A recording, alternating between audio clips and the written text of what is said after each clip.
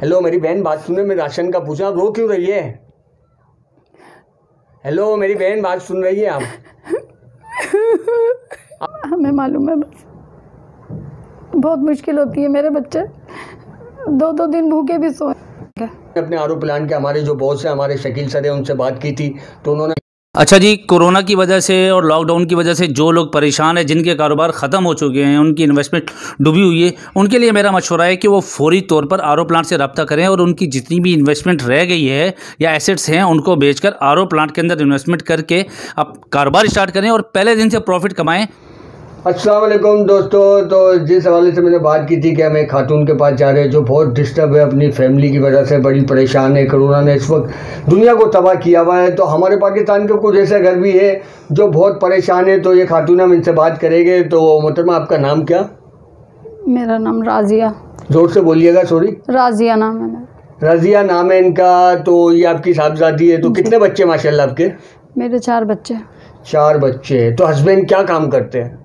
मेरे husband burger का ठिया लगाते थे। अभी आठ महीने से कोई काम नहीं है। ठीक है आठ महीने आठ महीने से तो आपके हस्बैंड का ही नहीं पाकिस्तान में जितने लोग काम करते सबके घर के यही हालात चल रहे क्योंकि कोरोना ने सबकी कमर तोड़ दी है।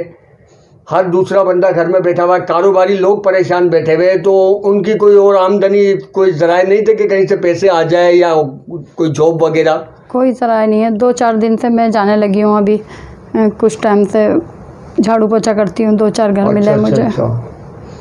तो आपके काफ़ी टैक्स टैक्स आए हुए थे हमारे पेज के ऊपर तो माजरत के साथ हमारे मैसेज इतने आए हुए होते हैं कि हम पढ़ नहीं पाते कितने ही मैसेज होते हैं हमसे गुजर जाते हैं। इत्तेफाक से वो नवीद हमारे रात को मैसेज चेक कर रहे थे तो वो देखा कि आपके तकरीबन साठ सत्तर मैसेज आए हुए थे कि इस नंबर पर रब्ता करें इस नंबर पर रब्ता करें तो हमने रब्ता किया। मैं बहुत दिन से सोच रही थी कि आप लोगों की मदद लूँ कुछ करूँ मगर शर्म भी आती है कि हम आपसे माजरत भी करते हैं हम आपका मैसेज नहीं पढ़ पाए क्योंकि हमारे पेज के ऊपर काफ़ी मैसेज आए हुए होते हैं फ़ैन फॉलोवर माशाल्लाह अल्लाह ने इतने कर दिए कि मैसेज हम पढ़ नहीं पाते हम कमेंट का रिप्लाई नहीं कर पाते। तो अब हस्बैंड क्या कर रहे हैं? बर्गर का ठिया बन दे तो? अभी कुछ नहीं कर रहे। जाते हैं काम के लिए कहीं थोड़ा बहुत कुछ हो जाता है तो करके आ जाते हैं काम वैसे कोई काम नहीं है। ऐसे कोई काम नहीं तो बच्चे स्कूल जाते हैं आपके? जाते थे अभी तो नहीं जा रहे कोरोना की वजह से। तो किसमें गवर्नमेंट स्कूल में या प्राइवेट स्कूल में? गवर्नमेंट में ही जाते अच्छा गवर्नमेंट स्कूल में जाते तो हस्बैंड अभी यानी बाहर काम के लिए गए हुए हैं। तो बर्गर का ठिया जो आपका है वो अभी कायम है जगह पर? वो गली वगैरह में छुप छुपा के लगाते थे तो दो महीने पहले कैंसी वाले वो भी ले गए उठा के। कोई प्रॉपर जगह नहीं है कि बर्गर की यानी ठिया है उनका? कोई दुकान नहीं है ऐसी? नहीं ठिया लगाते थे मार्केट की तरफ़। तो अब जब से वो हटा तो इधर गली वगैरह में लगाते थे। अब गली में से भी ले गए ना उठा के कैंसी वाले। अब हाँ बिल्कुल कोई कोरोना की वजह से तकरीबन दुकानों पे उन्होंने भी इस वजह से हटाया होगा ना कि रश लग जाता होगा लोग आ जाते। तो इस वजह से गवर्नमेंट भी मजबूर है क्योंकि कोरोना पे कंट्रोल भी करना है। तो इस वजह से उन्होंने ये हालात किए होंगे। आपका ये घर रेंट का है? जी रेंट का है। तो किराया कितना है इस घर का? सात हज़ार किराया है। एक हज़ार बिजली का मिला के आठ पड़ जाता है। अच्छा यानी हज़ार रुपये बिल तकरीबन आ जाता है। तो अभी ये किराया किस तरह दे रहे हैं आप? किराया छः महीने से नहीं दे रहा है। अच्छा छः महीने से नहीं दिया हुआ? जी जब से करोना हुआ है ना आठ महीने से जो लॉकडाउन हुआ है हम्म, हम्म, हम्म। तो हमारे पास जो जमा था वो भी हम दो महीने बैठ कर खा गए। उसके बाद हमारे पास कोई काम ही नहीं था। अच्छा यानी किराया तकरीबन छः महीने का किराया भी चढ़ चुका है। माली मकान भी कह रहे हैं कि बस खाली करें आप घर अपने ही। देखिए, कोई इस- रियायत नहीं दे रहा। इस सिचुएशन में इस इस हालात के अंदर अगर कोई मालिक मकान किसी का घर खाली कराता है ना तो ये याद रखना उसके घर देर है अंधेर नहीं। आज जो किराएदार आपके घरों में रह रहे हैं जो मजबूरी की वजह से किराया नहीं दे रहे तो भाई उनकी मजबूरी है। वैसे तो आपको वो देते थे ना आप लोग भी ख्याल करें भाई। यानी कोरोना का आए हुए आठ महीने हो गए लेकिन आपने फिर भी दो महीने का किराया जैसे तैसे करके भर दिया। अभी भी छः महीने का किराया यानी आपका चढ़ा हुआ है। जी कल मालिक मकान आया था। अच्छा। उसने पैसों का तगाजा किया। हमारे पास थे नहीं। बहुत लाते मारी उसने दरवाजे पे। बहुत ज़्यादा बोला कहाँ से थे? हमारे पास कुछ भी नहीं है। भाई ये तो बेगैरती की इंतहा है। देखो आपने अल्लाह अल्लाह आपको अल्लाह ने इस काबिल किया है कि आप किसी की मदद कर सको। तो भाई इस टाइम मदद करने का टाइम है ज़रूरी नहीं। जो किराएदार आपके पास बरसों से रह रहे हैं जो आपके किराएदार हैं तो उनका ख्याल करना चाहिए। अगर आप देख रहे हैं कि हम इस कंडीशन से गुजरे तो वो किस तरह देंगे? यार वो भी मजदूर आदमी है। तो मेरी बहन देखे, बात सिर्फ़ इतनी सी है कि हम छः महीने का तो आपका किराया वगैरह जो है, चढ़ावा, वो हम किराया और बिजली के बिल जो भी है, हम वो पूरा क्लियर कर देंगे। तो अभी जो ज़िंदगी का गुजर बसर चल रहा है, वो किस तरह चल रहा है, क्या कुछ सेटिंग है या इसके हवाले से? बहुत परेशानी थी। जो भी जमा पूंजी थी, हमने बैठ कर खा लिया। बहुत परेशान होकर मैं फिर काम के लिए निकली। झाड़ू पोछा कर लेती हूँ दो तीन घर में। बच्चों की दो वक्त की रोटी का गुजारा हो जाता है बस। किस तरह से हम कर रहे हैं? हमें मालूम है बस। बहुत मुश्किल होती है मेरे बच्चे। दो दो दिन भूखे भी सोए। देखिए अल्लाह ऐसा दिन किसी को ना दिखाए, ये इस वक्त ये हालत तो ऐसे बहुत से घरों की हो चुकी है, क्योंकि कोरोना ने तकरीबन लोगों को बिल्कुल अपाइज कर दिया है। जो चलने व फिरने वाले लोग थे ना, वो भी अपाइज होकर बैठ गए। इस तरह की कंडीशन चल रही है, आप हिम्मत ना रहे अगर ये ये वक्त होता है मुकाबला करने का, जद्दोजहद करने का, अपनी औलाद को मज़बूत बनाने का, कि हालात कैसे भी हो, आपने डट के खड़े रहना है, गिरना नहीं है, झुकना नहीं है, हिम्मत नहीं हारनी बस। अपनी औलाद को भी आप सिखाए कि हिम्मत ना हारे। कितने कितने बेटे आपके कितनी बेटियाँ हैं? दो बेटे दो बेटियाँ। दो बेटे दो बेटियाँ। तो वो तीन बच्चे हो रहे वो बड़े वो भी छोटे हैं? छोटे हैं। अच्छा वो भी छोटे ये सबसे छोटी है। अच्छा सबसे छोटी है।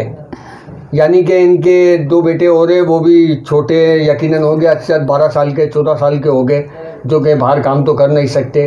तो बस भाई यही कहना चाहूँगा किराएदारों से जो जो मालिक मकान है, ख़ास तौर पे बिलखसूस मालिक मकान से मैं तवज्जो चाहूँगा कि भाई आप लोगों के जो किराएदार है ना, आपको वो अगर टाइम पे किराया दे के जा रहे हैं ना, इन हालात के अंदर अगर वो परेशान बैठे हुए हैं तो आप उनसे पूछ के किराया लो कि भाई आपके घर में खाने को है तो आप किराया दो, वरना ये किराया वापस ले जाओ, मैंने माफ़ कर दिया।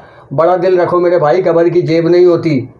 आपने भी मरना है, आप भी बीवी बच्चे वाले हो, ये वक्त कभी भी किसी पे भी आ सकता है। आज आप मालिक मकान बन के बैठे हो तो आप कल को किराए के घर में भी आ सकते हो। इनके चेहरों के ऊपर तरस खाओ। यार, ये मासूम बच्चे हैं, इनकी खेलने, कूदने की, पढ़ने की उम्र है। ये अभी से अपनी ज़िंदगियों के अंदर अजियत लेके बैठे हुए टेंशन लेके बैठे हुए कि हमारी अम्मा को किराया देना है। ये तो बेचारे अपने बाप से तकाजा भी नहीं करते होगे कि अबू बाहर से फल फ्रूट ला के खिला दो। बेटा, कभी आपने पप्पा को बोला है कि मुझे बर्गर खाना है? या रोल पड़ा था? वैसे पप्पा लाते थे। वैसे लाते थे पप्पा। अच्छा वैसे लेकर आते थे जब से कोरोना चला है तब से कुछ लाया है पप्पा? कोई फ्रूट वगैरह? कितना टाइम हो गया फ्रूट खाए हुए बेटा? एक साल हो गया। देखिए पूरा साल गे रही है बच्ची तो इससे अंदाज़ा लगाए कि यार इन बच्चों का भी दिल होता है आप भी अपने बच्चों को फल फ्रूट खिलाते होगे। इनके वालिद साहब भी कुछ बचता होगा ना हद से दो सौ रुपये ज़्यादा बच जाते होगे ना उसको साइड की जेब में रख लेते होगे कि यार आज अपने बच्चों के लिए सेब ले जाऊँगा केले ले जाऊँगा आम ले जाऊँगा थोड़ा सा थोड़ा सा खा लेंगे। बहन ये ये कहानी तो हर दूसरे बंदे के साथ चल रही है, जो जो पाकिस्तान में है, कोरोना, जो जिस जिस मुल्क में हर दूसरा बंदा परेशान है। तो हमने अपने आर प्लान के हमारे जो बॉस हैं, हमारे शकील सर हैं, उनसे बात की थी। तो उन्होंने हमसे एक ही बात की थी कि भाई, इनकी पूरी आपने छानबीन कर ली, आपके पास वीडियो आ गई है, बच्चों की सब उन्होंने भेज दिया है। तो आप इनके घर का जितना भी पे हो ना रेंट हो, वो आपने भरना है। ठीक है मेरी बहन? आपका जो भी रेंट होगा ना, वो हम आपको भर के देकर जाएँगे, आप टेंशन ना लें। उसके अलावा भी जो किराए का मसला होगा ना, हम जाने, मालिक मकान जाने, वो हम उन, आप मुझे नंबर दे दीजिएगा, हम उनसे खुद बात कर लेंगे। आगे भी जो किराया देना होगा ना, इन हालात के अंदर हम पे करेंगे। हमारी, हमारे आरओ प्लान की तरफ़ से वो किराए को वो खुद निपटाएँगे। ठीक है मेरी बहन? तो उसके अलावा जो राशन का ये जो खर्चा है ये कितना होता है आपका मंथली टोटल हेलो मेरी बहन, बात सुने मैं राशन का पूछा रो क्यों रही है?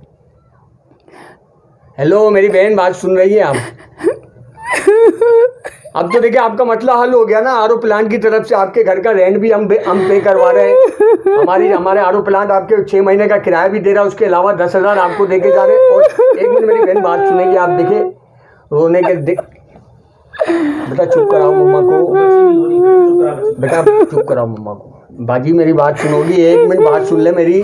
देखिए, बात सुन ले, आपका मसला नहीं है, ये सबके साथ मसला चल रहा है हर दूसरा बंदा परेशान है। मेरी बात सुनेगी आप। आप देखे रोहन एक मिनट मेरी बात सुना।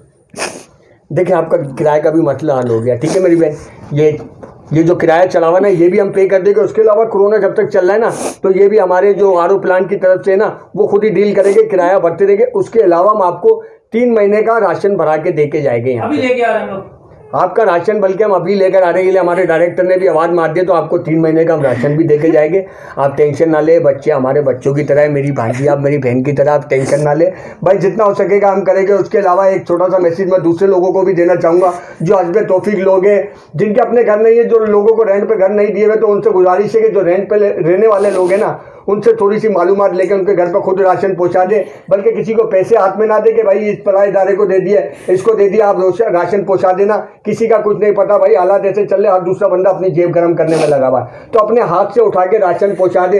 जैसे हमें आर प्लांट ने कहा था तो हमने बाकायदा ये वीडियो भी बनाई है इनकी इजाज़त पे, और ये नकाब वगैरह हमने इनकी इजाज़त पर लगवाया क्योंकि इन्होंने कहा कि हमारे भी खानदान है।